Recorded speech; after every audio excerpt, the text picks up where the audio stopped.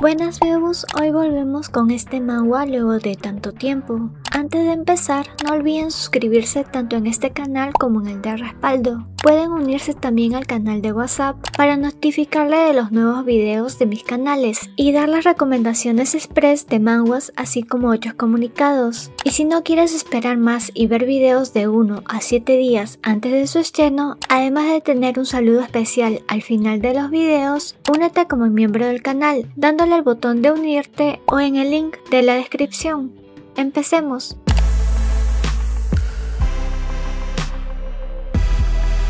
Recordemos que Tae se había encontrado con Kyle, el que parecía ser el hermano de Eli, pero el pelinegro había estado viviendo escondido luego de haber tomado por la fuerza al peli blanco antes de huir de Unro. Tae se despertó de una pesadilla, la cual era la misma que últimamente tenía. Era una escena casi igual a la que pasó la última vez que habló con Eli, ellos en la cama y el mayor pronunciando su nombre. Al parecer estuvo teniendo distintos sueños, pero siempre era la misma persona en ellos, Eli. Como aparecía cada día en sus sueños, comenzó a sentirse observado. Estaba hablando consigo mismo hasta que alguien interrumpió sus pensamientos. En la puerta se encontraba una mujer llamada Rita, quien al parecer era quien ayudaba en la casa. Fue hasta la habitación para decirle que la comida estaba lista y que el jefe, junto a sus invitados, le estaban esperando. La mujer sin duda daba algo de miedo.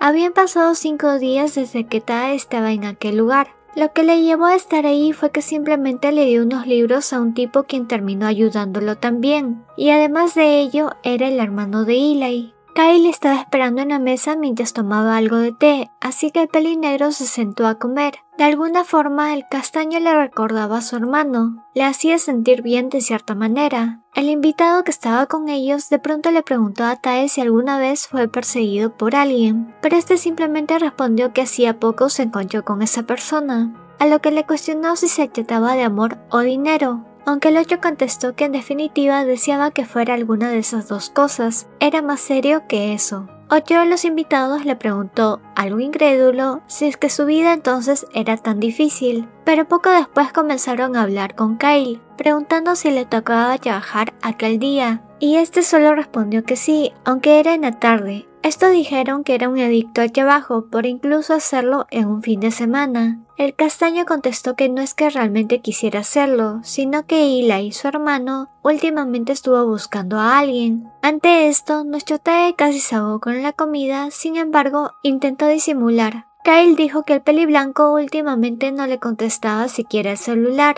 que se había enojado con James y este último no sabía ya cómo tratar con Eli. Al pelinero se le habían quitado todas las ganas de comer luego de ello. Poco después, el castaño llamó la atención de Tae, preguntándole qué tal le había ido en la biblioteca de la casa, pero el hoyo simplemente respondió que por el momento no había encontrado nada interesante, a lo que el anfitrión le dijo que si lograba encontrar algo, que le dijera. Luego vemos que el menor está disfrutando un poco del sol, cerca de la piscina, aunque estaba pensando en dónde podía estar su hermano, y que ahora último tampoco no había oído nada de su tío. Se preguntó dónde estaba esa cosa y cómo aún no se había usado, además si podía encontrarlo o no. Cuando tuvo suficiente se levantó para volver dentro, sin embargo justo iban entrando unas personas, por lo que se escondió por inercia. Es así que escuchó que hablaban, pero realmente no entendía sobre qué, aunque cuando ellos estuvieron un poco más cerca, logró ver quiénes eran. Era Morro junto a Kyle. Tae no entendía por qué aquel chico estaba en ese lugar, Recordó que Eli había mencionado algo sobre el pelimarrón anteriormente, algo sobre que había puesto las manos sobre la compañía antes de hinchar a Unro. El pelinero no pudo seguir pensando qué estaba pasando con ellos, ya que cada vez se acercaban más, por lo que en un movimiento rápido volvió al asiento donde estaba y se recostó cubriendo su rostro con una toalla para que así Morro no lo reconociera. Por suerte pasó desapercibido, aunque no por mucho tiempo. En definitiva, esa misma noche tendría que salir inmediatamente de aquel lugar. Para su mala suerte, Rita había aparecido a su lado, preguntándole cuánto tiempo más pensaba estar holgazaneando. Kyle se acercó a ellos, por suerte ya estando solo. Para ese momento la señora le quitó la toalla de encima y el pelicastaño aprovechó que este ya estaba despierto para decirle que había alguien a quien quería presentarle. Y fue en ese momento donde Morro volvió hacia donde ellos. Obviamente ambos se reconocieron. Sus caras de desagrado al verse fueron muy obvias, pero Kyle no parecía notarlo.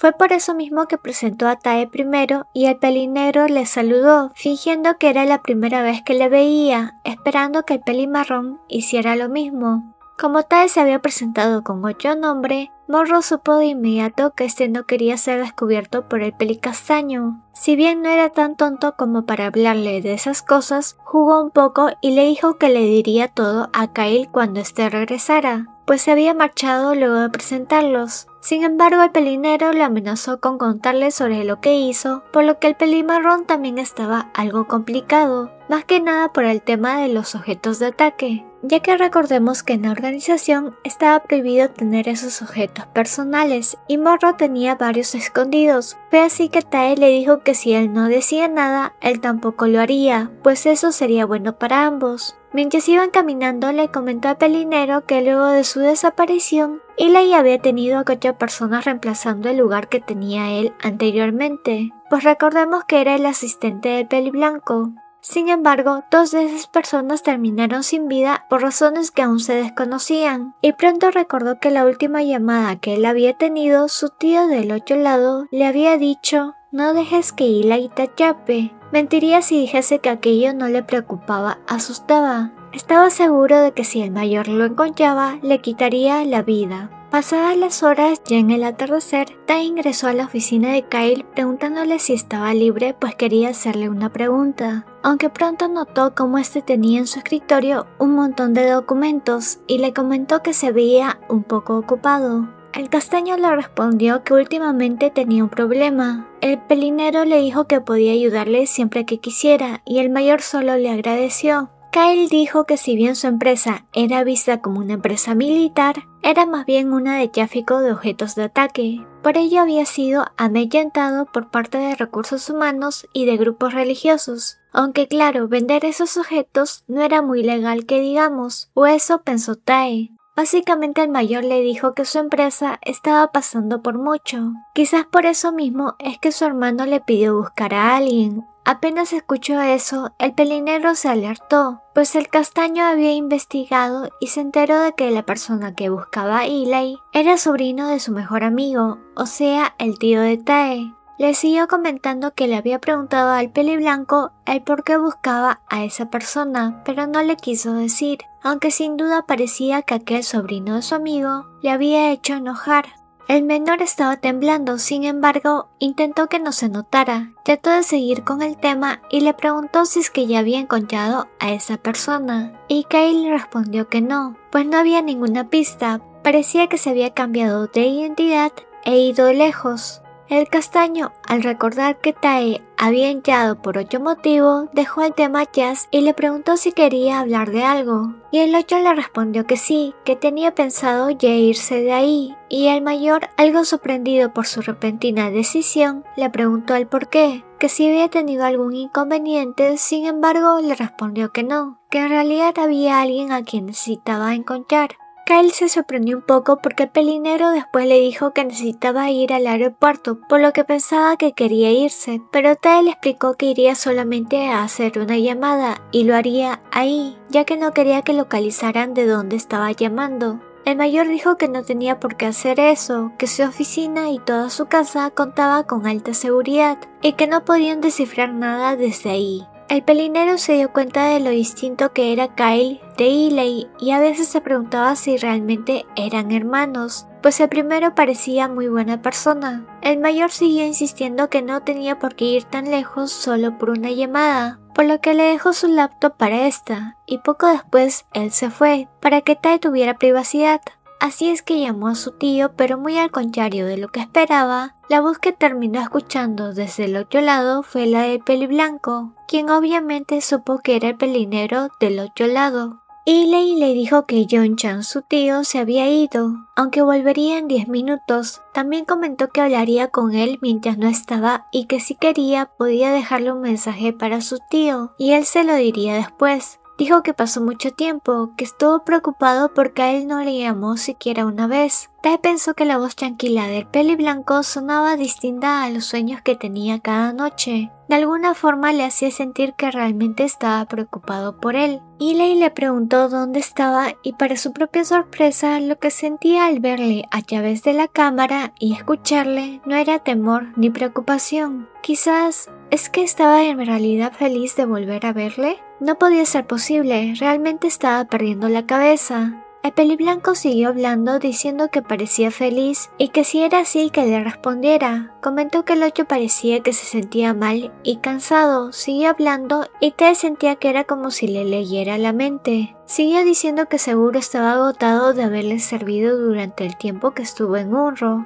Sin embargo, lo último que dijo como consejo por haberle ayudado en ese tiempo fue no dejes que te achape. El mismo Ilay le estaba advirtiendo, el menor le agradeció diciendo que apreciaba su vida como para dejar que la chapase, pero el ocho de inmediato respondió que como apreciaba su vida luego de haberle hecho aquello y solo huir lejos, haberla amarrado, dormido y tocado sin consentimiento la última vez. El peliblanco intentó entender cómo es que Tae era tan valiente aun sabiendo que le podía quitar la vida apenas le viera. No obstante, el menor respondió que eso era porque estaba seguro de que nunca más se volverían a ver. Sin embargo, Ilay le preguntó si estaba seguro de que no se volverían a ver. Él haría que lo odiase todos los días y que no importaba lo que hiciera, lo encontraría. Tae intentó estar tranquilo y lo último que dijo mientras se levantaba del asiento fue que le dijera a su tío que él estaba bien. Así apagó la computadora antes de que el peliblanco pudiera decir otra palabra. Cuando salió de la oficina de Kale, se sentía algo extraño. Seguía pensando que esa sensación que tenía en su cuerpo podía ser que era porque realmente quería ver a Eli, pero sabía que eso no podía ser.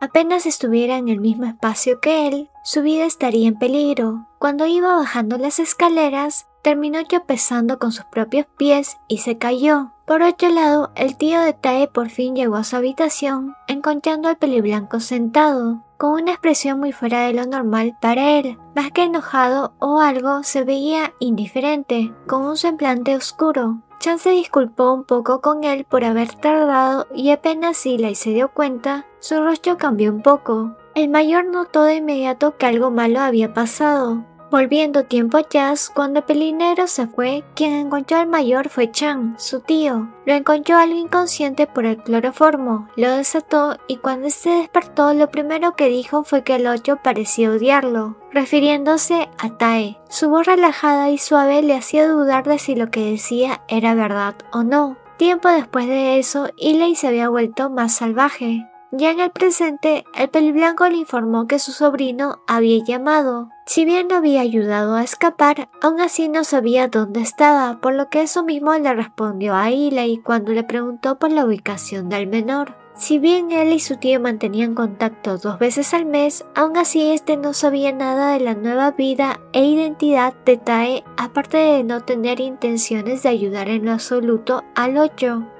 El peliblanco le dijo que el menor solo se atrevió a gritarle y tratarle así debido a que estaban en una llamada, no en persona, que esa vez había dicho cuánto quería tomarlo por el cuello. El mayor no se podía imaginar en qué tono o qué expresión tenía su sobrino al hacerlo, pero no dudaba de que hacer aquello no había sido fácil. Chan le preguntó realmente por qué estaba enojado en primer lugar, ya que seguramente no era la primera vez que escuchaba a alguien decir algo como eso, y normalmente a Ilay no le importaba lo que le dijeran. El blanco respondió que aquello era cierto, era realmente indiscutible lo que sentía ahora, puesto que estaría dispuesto a quitarle la vida a Shan para que le dijese exactamente todo, porque sabía que no le diría tan fácilmente las cosas. Por eso por el momento decidió irse, diciéndole que no haría nada para causar problemas, sin embargo que sí sabía información relevante. El mayor comenzó a sentirse un poco culpable, pues fue él quien utilizó a Tae en primer lugar, aunque de cierta forma por eso mismo le había ayudado a escapar. No era tan tonto como para forzarlo a hacer algo que no quería. Aún así le dijo a Ilei que hiciera lo que quisiera.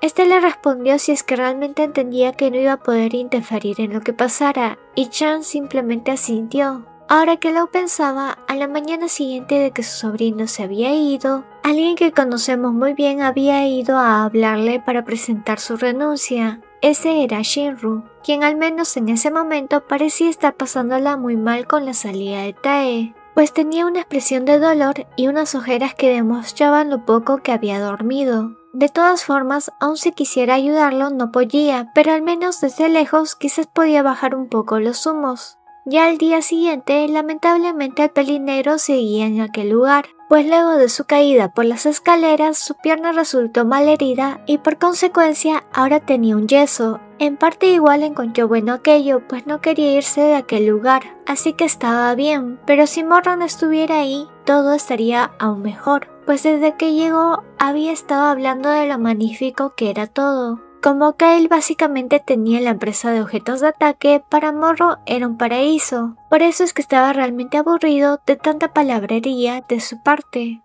No olvides darle me gusta, comentar y compartir este videito si te gustó el resumen. Así sabré si continúo resumiendo este manga. Una mención especial a los miembros del canal Arisa Jung y Tururururu. Saluditos a las siguientes personitas por comentar primero.